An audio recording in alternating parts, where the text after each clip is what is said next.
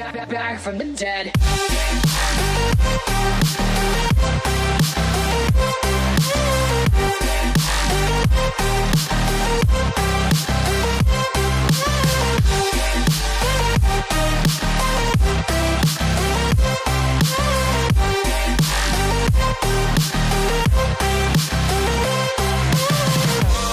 Ladies and gentlemen, ladies and gentlemen, the countdown has just begun.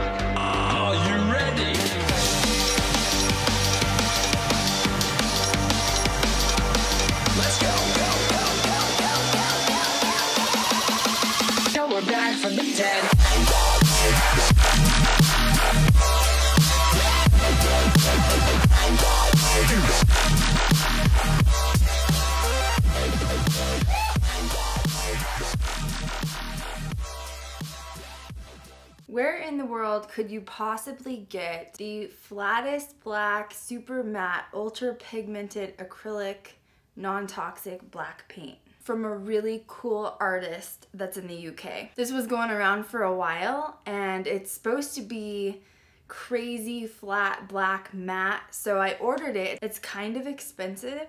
I would say this is about eight ounces worth of black paint, maybe 10 ounces. But of course, in light of Ghost Girl Diaries and in honor, of course, of Ghost Girl Diaries, I think not too long ago I claimed the black unicorn as my mascot for Ghost Girl Diaries.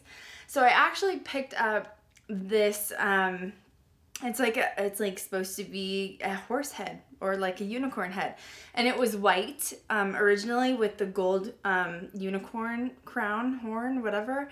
And i got it from hobby lobby. I took this flat black matte uh, paint that i finally got from uk it took like almost eight weeks to get here and I painted two of these for my house, which I think it looks amazing. So of course, in lieu of Ghost Girl Diaries, I actually have the legitimate mascot of GGD finally in the flesh or in the death, I guess. Hey guys, what's up? Welcome back to my channel and I know that you definitely see that there has been some changes behind me. It's actually been a super active three weeks. I haven't really filmed for like three weeks. So I'm gonna catch you guys up on all of that stuff, but while I was gone, and I'll go over that later, I actually got on Hulu and I watched this video, or it's actually, I guess it's a documentary called American Ghost Hunter. So basically, it's supposed to be a documentary. My assumption was it was kind of going to be a documentary backstory on what it's like to be an American ghost hunter, right? I mean, via the title. So Ryan Buell is in it, Lorraine Warren is in it as well, and I think the executive producer is a guy named Chad Calek. If you pronounce it that way, I might be wrong. So Chad was basically the director and writer for this documentary and he has made a couple appearances on Paranormal State. This American Ghost Hunter did come out in 2010 and I do remember them making rounds to like large cities. I believe Ryan was with him to do kind of interviews and to do screenings for this actual documentary. In fact, I remember at the time I was living in Colorado and I remember they actually did do a screening in Denver.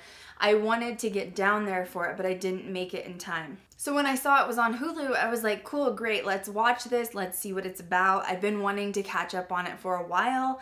I wanted to like it really bad and it was not what I, I was expecting. It was not at all what I was expecting. So of course you guys know the producer and me is going to critique this on a film level and it hurt me to watch it. I'm just going to say attempting to get to the end of this was painful for me. Now I know most of you out there aren't going to notice the things I was catching or picking up on, which is things like lighting, improper lighting. There was not really a storyline. When you're doing episodic television or a documentary for that matter, you need to have some sort of a beginning, middle, and end. So take Ghost Adventures for example. When they first started, um, they would go in and do the history, they would do the lockdown where someone would lock them in there. The middle part was the actual investigation, and the end of it was uh, them being let out of the investigation and, and can't believe what we found and all that stuff.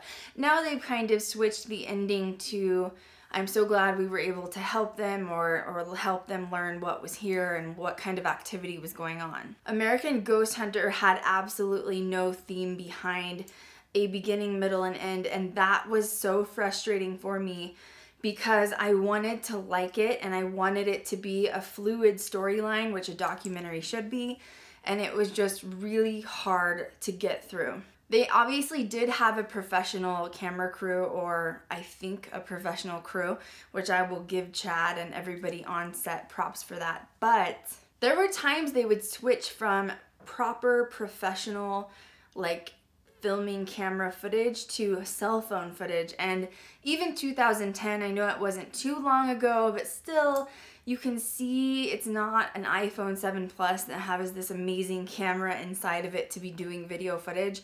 So I was really disappointed that they should have rented more cameras or purchased more cameras in the budget rather than using extra cell phones and, and, such for actual footage that they were using in this documentary. It's interesting because before I watched this, I happened to just look it up because I was like, ah, American Ghost Hunter, I can't remember what it is.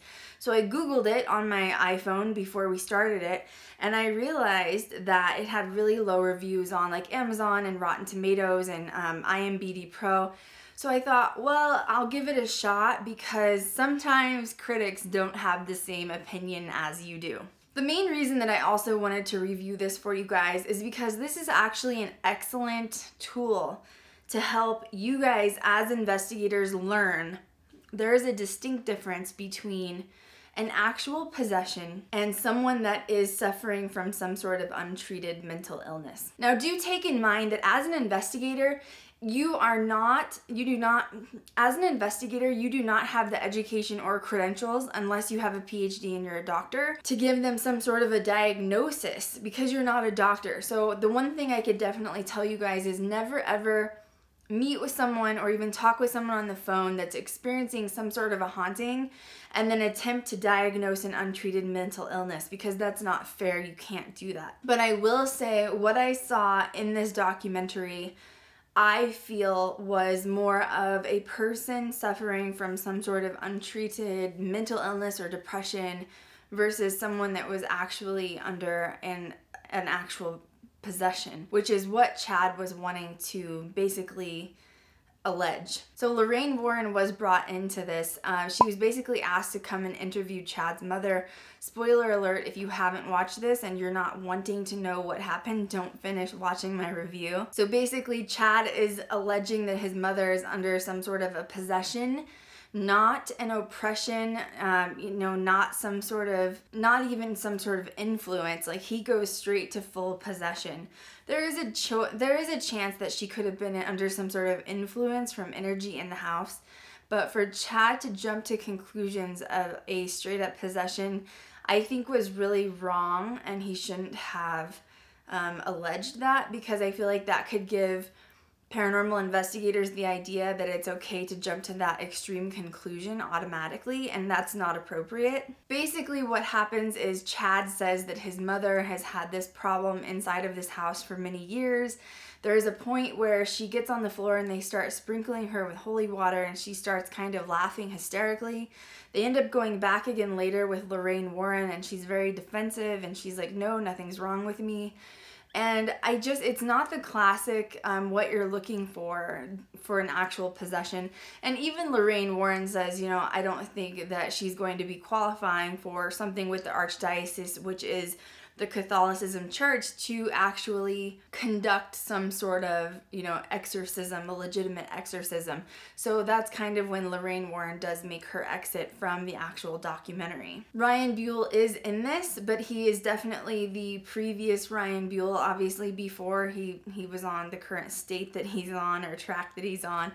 And so Ryan was in this, and I hate to say it, but it feels like what Chad is trying to do is kind of make his own character and um, put forth himself as a lead investigator. And unfortunately having Ryan on there who's already done paranormal state for so long Ryan obviously immediately goes into character as the host. And Ryan basically steals the show from Chad and it ends up being Chad's movie. So that's quite unfortunate. He probably shouldn't have put his competition in the actual documentary with him because it did not suit well, and Ryan did end up stealing the show yet again from Chad. It was difficult to get through because the storyline was not fluid. And I had a really hard time believing the sequence that they had going with this alleged possession. And I was really disappointed. I was disappointed because I feel like a lot of people might watch this and you know there could be believers out there that think they're seeing this. There was a lot of problems with the audio as well where the background noise would be over it would be so loud over the voiceover that you could almost it would it would like faint out the voiceover. You couldn't hear it properly. So i'm not sure who was doing their audio but it was not good. And it with the fluctuations in the audio whoever did their post production it was really rough. And so there were times where we obviously had the television or the sound system on one level and all of a sudden it would blare and blast out of nowhere. So there were a lot of production issues from what I could see which is crazy considering this was like a documentary that they released for screenings all over major cities around the country, right? My opinion on it is Chad's mom actually possessed. No, I don't think she is. I think she could definitely be under the influence of something in the house if that's actually true. But I do think she has some sort of untreated mental illness. I'm not sure what. But going into, you know, that conversation, I do want to tell you guys you need to really be careful when you're dealing with people that call you up out of nowhere and say, hey, I think my house is haunted. Can you come investigate? Now, when you're dealing with like historical societies or museums or actual locations like bars or restaurants that are alleging you know, a haunting, that's different. What I'm talking about is when a person calls you up and says, My house is haunted, can you help me? You need to be a bit skeptical of it. And I'm going to give you a couple of examples of things that I have gone through personally. So, one example I had was one gentleman called me. Um, he had called, we had had an actual hotline in Colorado. This is obviously pre paranormal challenge times and uh, this gentleman called me on the hotline and said that he thought aliens were actually manifesting out of his children's toys. So the things he was saying was so out there.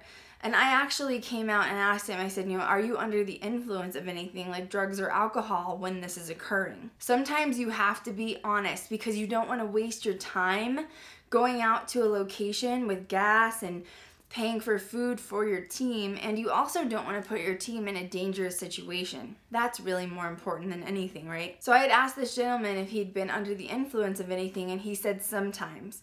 And so I had told him that at that point I couldn't help him, and that if there was sobriety in place and things were still happening, that he could call me back. So this gentleman started calling our hotline at all hours of the night, leaving voice messages that he was seeing things manifest out of his children's toys. He was not calling it as a ghost, he was saying that it was some sort of alien creature. Obviously, I don't know if that really could happen. I don't deal with aliens, so he was calling the wrong hotline, anyways. but I was very skeptical of going to a place like that with my team. I did not want to put anyone in danger, so I did not return his phone calls, and eventually they did stop. The next thing that I had happen was a woman had called me. She had basically moved from one side of the state of Colorado to the other and she'd moved into this house that was very old and she was having a lot of horrible things go on. She actually thought that her fiance may be under some sort of oppression or possession. So basically, what I do in those instances is I will give people homework that call me when they're looking for, you know, some sort of help for their haunted location. Once again, this has to do with private residences only. Basically, I told her that, you know, even if we came in to do a cleansing or a clearing, she was going to have to be the one that tells it to go because she is renting or owning that property and she has to put her foot down in order for it to leave. She absolutely would not do it. She did not feel comfortable with it. She was either agnostic or atheist, so I gave her some St. Michael homework to do to see what would happen.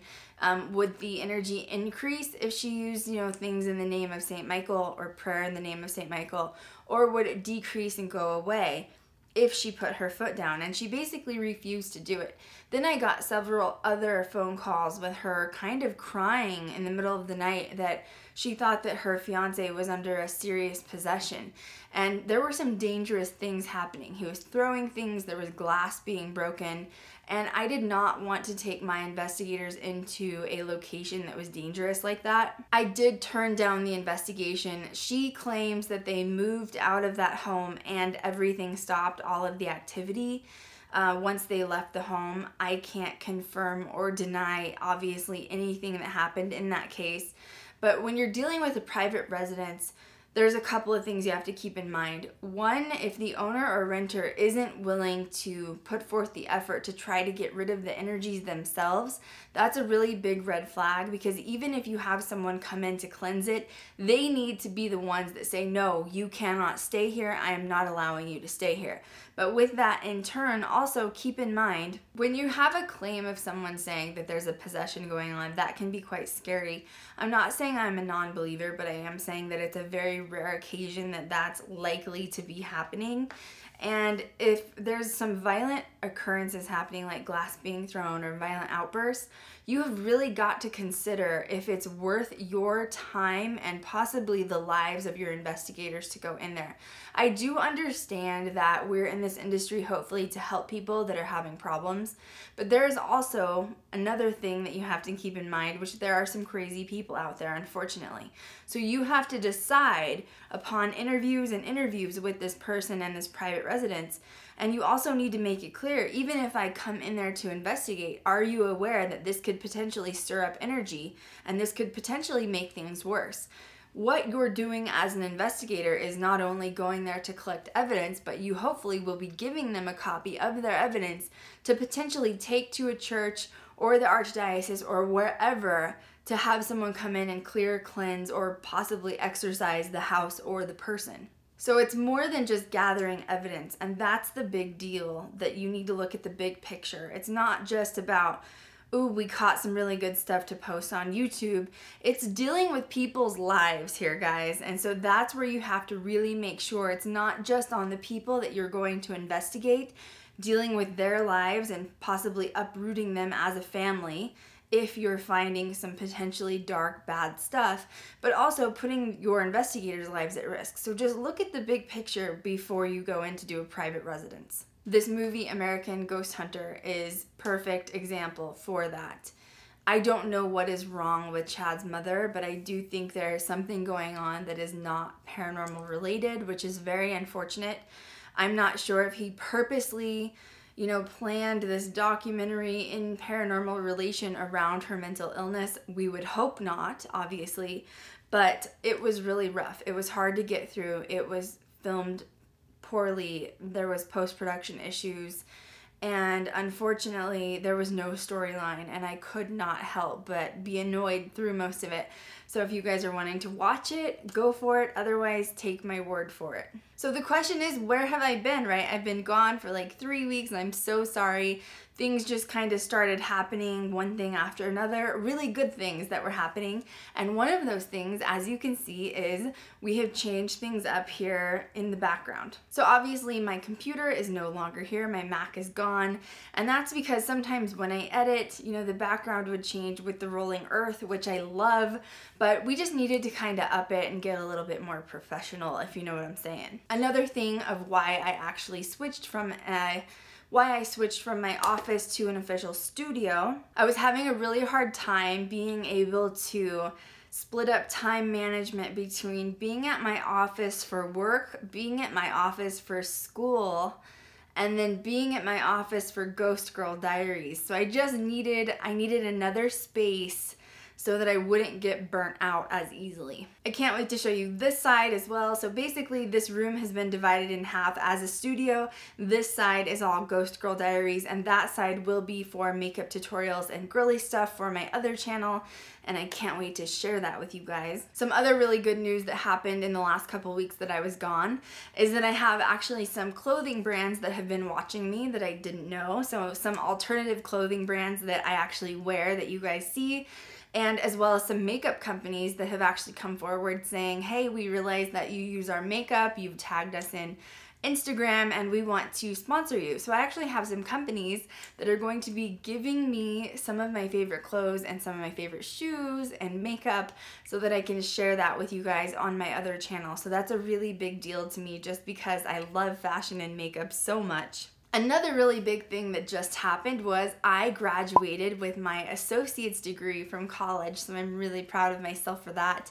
I had a wonderful graduation and um, it was just really chaotic those last couple weeks finishing up finals and then getting ready to actually graduate. I did also apply to several film schools. I had my eye on some in LA and I finally was accepted to a film school and what I'm even more proud to announce is that I've actually been offered a full scholarship for the next two years to get my bachelor's degree in film and I'm so thrilled that they actually love what I do. So part of the reason that some of my time was taken up the last few weeks was in order to apply for this scholarship, I actually had to present them Ghost Girl Diaries, like the entire staff.